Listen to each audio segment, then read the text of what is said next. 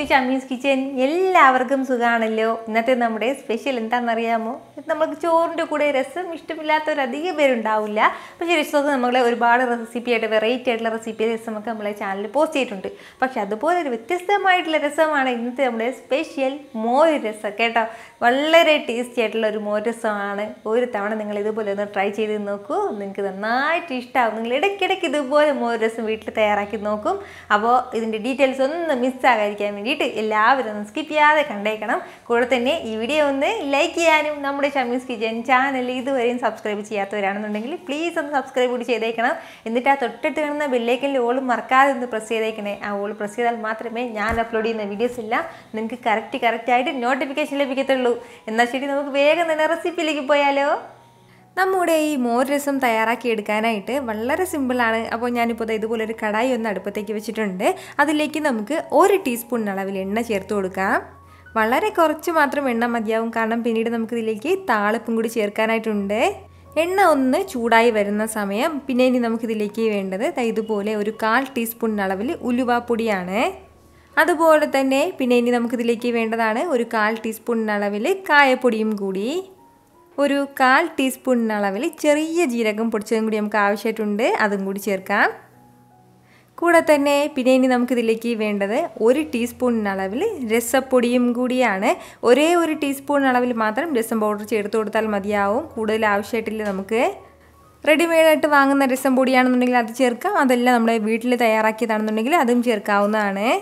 രസപ്പൊടിയും ചേർത്ത് കൊടുത്ത ശേഷം പിന്നെ ഇനി നമുക്കിതിലേക്ക് വേണ്ടത് ഒരു രണ്ട് പച്ചമുളകും കൂടിയാണ് കേട്ടോ. പച്ചമുളക് ഇതിലേക്ക് ഒന്ന് ചേർക്കാം. ഇത് ഇത്രയും ചേർത്തിട്ട് ലൈറ്റായിട്ടൊന്ന് വഴറ്റി കൊടുക്കുകയാണ് അപ്പോൾ നമ്മുടെ ഈ മസാലകളൊന്ന് ചൂടാവാനും മാത്രം ആവശ്യമായിട്ടുള്ള എണ്ണയാണ് നമ്മളിപ്പോൾ ഇതിലേക്ക് ചേർത്ത് കൊടുത്തിട്ടുള്ളത്. ഫ്ലെയിം നന്നായിട്ടൊന്ന് കുറച്ച് വെക്കാൻ വേണ്ടി പ്രത്യേകം ശ്രദ്ധിച്ചേക്കണം. ഇപ്പോൾ മസാലപ്പൊടികളൊക്കെ നന്നായിട്ട് ഇനി ഒന്ന് ചൂടായി കിട്ടിയിട്ടുണ്ട്. അപ്പോൾ ഈ ഒരു സമയം ആകുമ്പോഴത്തേക്കും ഇനി നമുക്കിതിലേക്ക് വേണ്ടതാണ് ഒരു രണ്ട് കപ്പ് അളവിൽ വെള്ളം കൂടി. വെള്ളം ചേർത്ത് കൊടുത്തു കഴിഞ്ഞാൽ പിന്നെ ഇനി നമുക്ക് നന്നായിട്ട് ഒന്ന് ഇളക്കി കൊടുക്കണം. അതിനുശേഷം ഇത് നല്ലതുപോലെ ഒന്ന് തിളച്ച് വരട്ടെ. എന്നാ ഇപ്പോൾ ഇത് നല്ലതുപോലെ ഒന്ന് തിളച്ച് വരികയാണ് അപ്പോൾ ഇതുപോലെ ഒന്ന് തിളച്ച് തുടങ്ങുന്ന സമയമാകുമ്പോഴത്തേക്കും ഇനി നമുക്ക് വേണ്ടത് ഫ്ലെയിം ഒന്ന് നന്നായിട്ടൊന്ന് കുറച്ച് വെച്ച് കൊടുക്കാം. എന്നിട്ട് ഇതിലേക്ക് നമുക്ക് ചേർത്ത് കൊടുക്കേണ്ടത് മോരും വെള്ളമാണ്. അപ്പോൾ ഞാനിപ്പോൾ ഒരു മൂന്ന് കപ്പ് അളവിലാണ് കേട്ടോ മോരുവെള്ളം എടുത്തിട്ടുള്ളത്. അത് ഇതിലേക്കൊന്ന് ചേർക്കാം. ഒന്നര കപ്പ് അളവിൽ തൈരും ഒന്നര കപ്പ് അളവിൽ വെള്ളം കൂടി ചേർത്തിട്ടാണ് ഞാനിപ്പോൾ മോരും വെള്ളം തയ്യാറാക്കി എടുത്തിട്ടുള്ളത്. അപ്പോൾ ഇച്ചിരി പുളിയുള്ള തൈര് നോക്കി എടുക്കാൻ വേണ്ടി പ്രത്യേകം ഒന്ന് ശ്രദ്ധിച്ചേക്കണം. ഫസ്റ്റ് നമ്മൾ ആ ഒന്നര കപ്പ് അളവിലുള്ള ആ തൈര് ഒന്ന് മിക്സിയുടെ ജാറിലേക്ക് മാറ്റിയിട്ട് നല്ലതുപോലെ ഒന്ന് ബ്ലെൻഡ് ചെയ്തെടുക്കണം കേട്ടോ. അപ്പോഴത്തേക്ക് നമുക്ക് കട്ടയൊക്കെ ഒന്ന് മാറി കിട്ടും. അപ്പോൾ നമുക്ക് പാലിങ്ങനെ പിരിയേയില്ല. അപ്പോഴത്തേക്കും നമ്മുടെ ഈ തൈര് ഇങ്ങനെ പിരിയാതെ നമുക്ക് കിട്ടുകയും ചെയ്യും കേട്ടോ. മിക്സിയിൽ ഒന്ന് ബ്ലെൻഡ് ചെയ്തിട്ട് നമ്മൾ ചേർക്കുന്ന സമയത്ത്.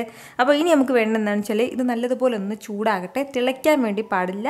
ഒന്ന് ചൂടായി കിട്ടണം. സൈഡിൽ നിന്നൊക്കെ ഇങ്ങനെ ചെറിയൊരു തിള ഇങ്ങനെ വന്ന് തുടങ്ങുന്ന സമയമാകുമ്പോഴത്തേക്ക് നമുക്ക് ഫ്ലെയിം ഓഫ് ചെയ്യാം. അപ്പോൾ ഇനി നമ്മൾ ഇതുവരെ ഇതിലേക്ക് ഉപ്പ് ചേർത്തിട്ടില്ലായിരുന്നു. അപ്പോൾ ആവശ്യമായിട്ടുള്ള ഉപ്പ് ചേർക്കുകയാണ്.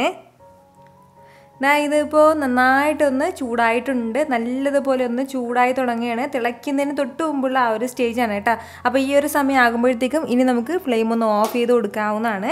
ഇനി നമ്മുടെ മോരസത്തിൽ മെയിനായിട്ട് വേണ്ടത് താളിപ്പാണ്. താളിപ്പ് ചേർക്കുമ്പോൾ മാത്രമേ നമ്മുടെ മോരസം കംപ്ലീറ്റ് ആവുള്ളൂ.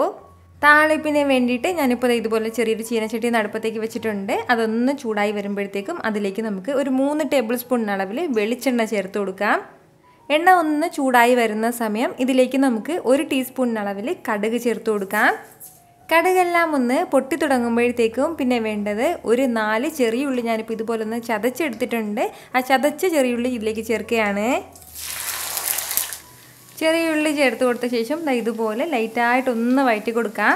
അപ്പോൾ ഇതുപോലെ ഒന്ന് ചൂടായി വരുന്ന ഈ ഒരു സമയമാകുമ്പോഴത്തേക്കും പിന്നെ നമുക്ക് വേണ്ടതാണ് ഇതുപോലെ ഒരു ടീസ്പൂണിനളവിൽ ഇഞ്ചി വെളുത്തുള്ളി പേസ്റ്റും കൂടി.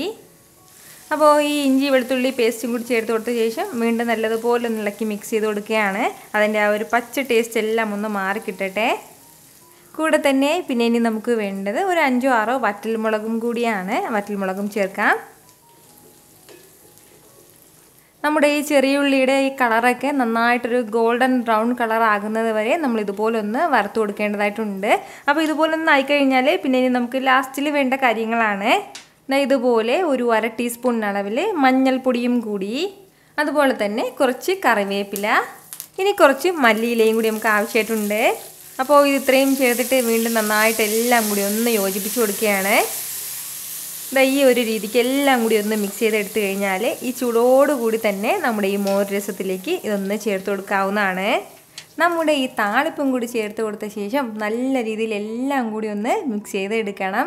അപ്പോൾ നിങ്ങൾക്ക് കാണുമ്പോൾ തന്നെ അറിയായിരിക്കുമല്ലോ ഒരു പ്രത്യേക ടേസ്റ്റിലായിരിക്കും നമ്മുടെ ഈ മോര് രസം ഉണ്ടാകുകയെന്ന് നമ്മൾ സാധാരണ രസം തയ്യാറാക്കുന്നതിൽ നിന്നും ഒരു വ്യത്യസ്തമായിട്ടുള്ള രുചിയിലാണ് കേട്ടോ നമ്മുടെ ഈ മോര് രസം ഉണ്ടാവുക.